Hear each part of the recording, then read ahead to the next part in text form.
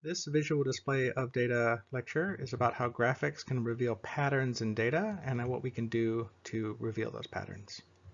And this book is listed down here. This is a very influential book um, where some of these examples are taken from.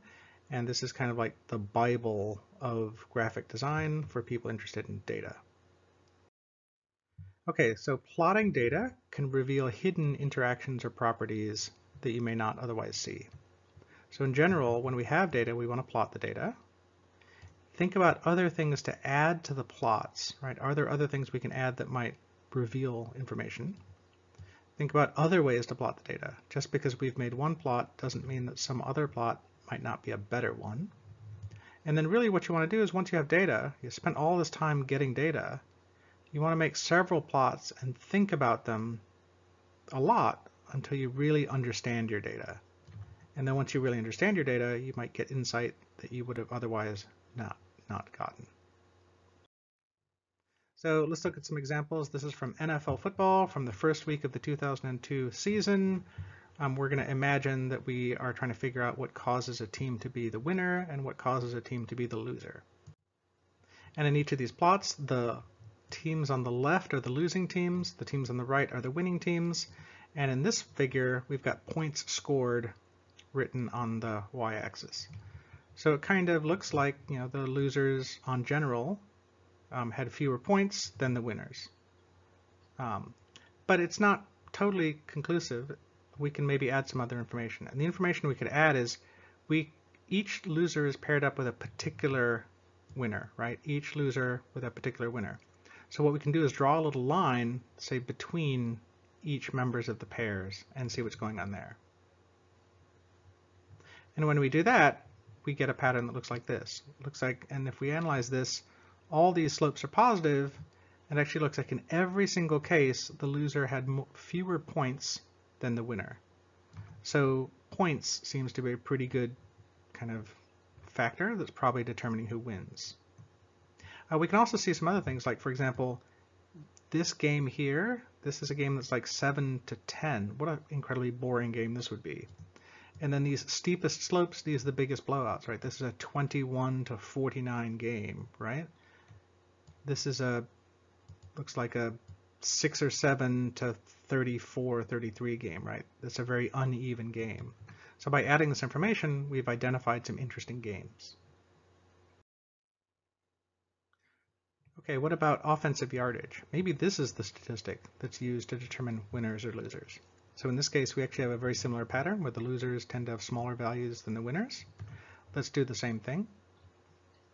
Now we see that, well, actually we have some cases where there are negative slopes, right? Actually, this team here had fewer offensive yards than the team it beat over here.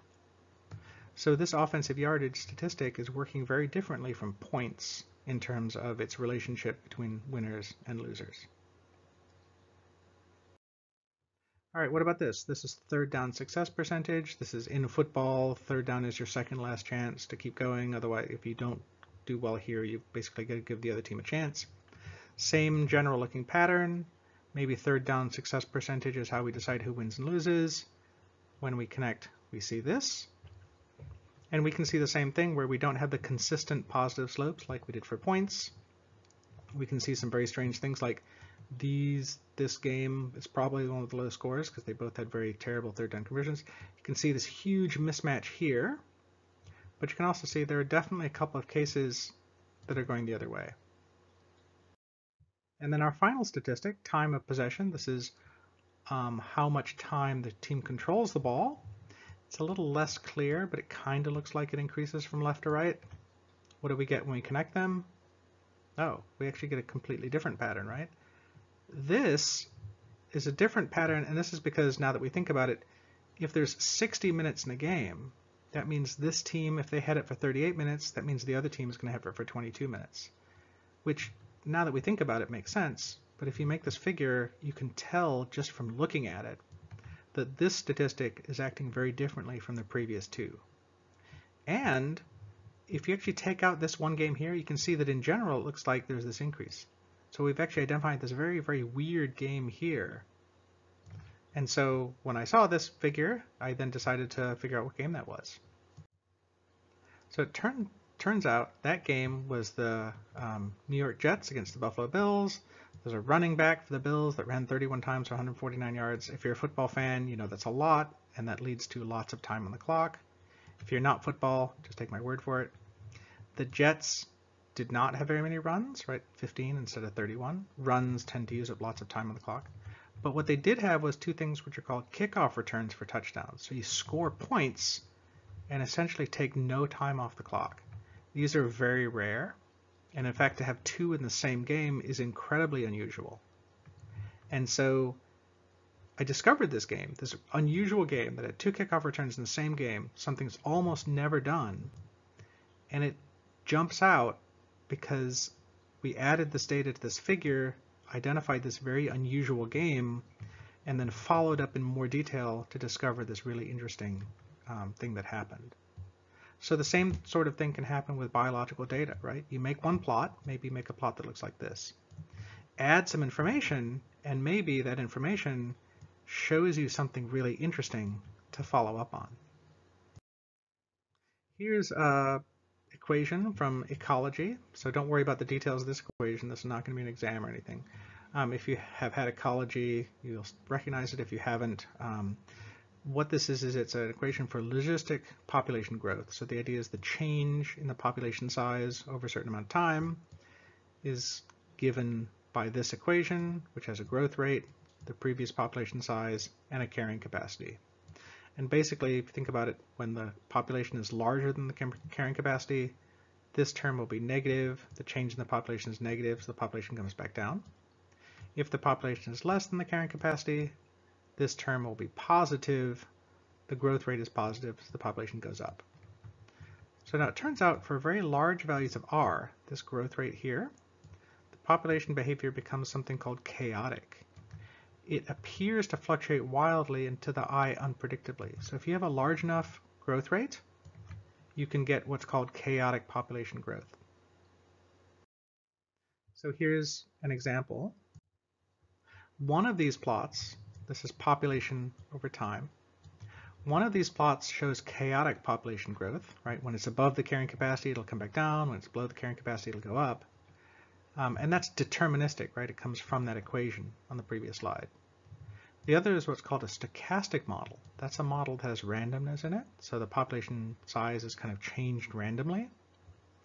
And if we look at these two figures, though, it's not immediately obvious which is which, right? Just by the naked eye, we wouldn't have a whole lot of confidence about which is the random one and which is the chaotic one.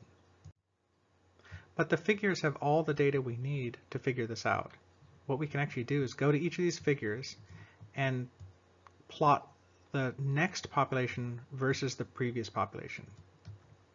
The previous slide showed that there was an equation, right? If you plug in the population, plug in the carrying capacity, you can predict the next population perfectly. If it's a stochastic process, you're not going to be able to make that prediction. So we can go to these figures, use all the information that's already in them to make a new figure, and we would get like this. And here you can actually see, right, there's basically no relationship between the current population and the next one. But over here, there's a very clear relationship between the current population and the next one. So this is the stochastic model. Basically, it's being randomly changed around 100. This is the chaotic model, where if it's below, it uses that equation to go back up. Once it gets above, it goes back down in this very organized predictable, and deterministic pattern. So again, to the naked eye, we might not really feel confident at all about which is the chaotic and which is the stochastic one. But when we use the exact same information that we already had in the plot and just looked at it in a different way, then it becomes very obvious which is the chaotic and which is the stochastic process. This is an example figure from um, a master's thesis from a few years ago. This is a student who had tracked fish around the harbor. They put trackers on them, and you can see like over a certain period of time, they had followed them. They're tracking the ship. And here's the statistics of the fish. This is the gender of the fish, the sex, the female or male. This is the size of the fish, right, in uh, centimeters or whatever it was. Um, the tracking begins here and goes there, and that's the last time the signal is achieved. So, so this figure is basically showing how long are they seeing these fish within a certain region. But if we think about it, this could be there. There could be a way to make this better, right? Like the females and males are all mixed up. It might be good to like have the females at the bottom and the males at the top and see if the pattern looks different for males and females. Maybe females stay longer, males stay less, um, and that would become obvious. Or maybe the size of the fish has something, right? We could order it from smallest down to largest and see then when this gets reshuffled, maybe larger fish stay longer and smaller fish stay less, or whatever. Um, or maybe there's a more clear pattern for um, when it starts, right? So we could order these things again, like the very first one at the bottom, the second one, second, and then progress like that and see it more clearly if when it starts influences how long it stays.